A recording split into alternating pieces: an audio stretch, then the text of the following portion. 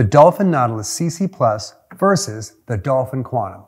Which is the best robotic pool cleaner for your pool?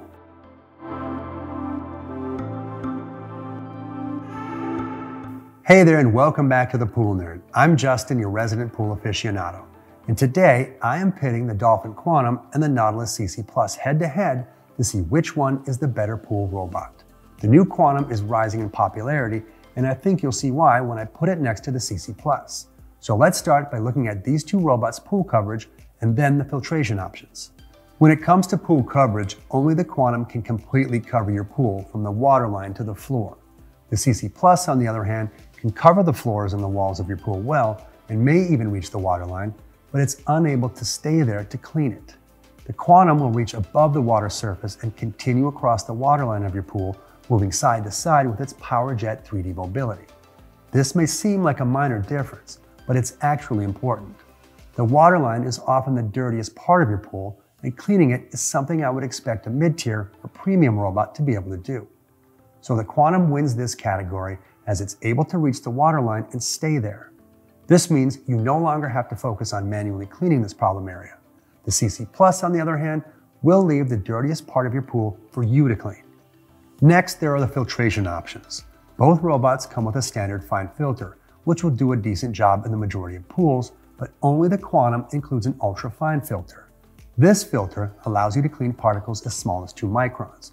While the Nautilus CC Plus would leave it behind, the Quantum easily handles this with an ultra-fine filter.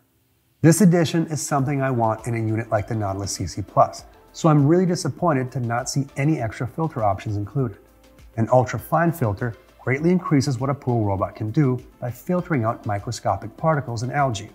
Without it, you will be left with less clear water and more work to do. The Quantum easily wins this category by including an ultra-fine filter, leaving you with a completely clean and clear pool. While we're talking about filters, the Quantum also uses an oversized filter basket. This makes it super easy to clean. Simply press the tap and open the bottom of the filter and you're done. The CC Plus requires you to clean both its filter cartridges. While it isn't a huge deal, the Quantum's filter basket is much larger than both of the cartridges, allowing a lot more debris and leaves to be captured by the Quantum every clean. So what's my final verdict? The Dolphin Quantum wins because of its better cleaning coverage and second filtration option.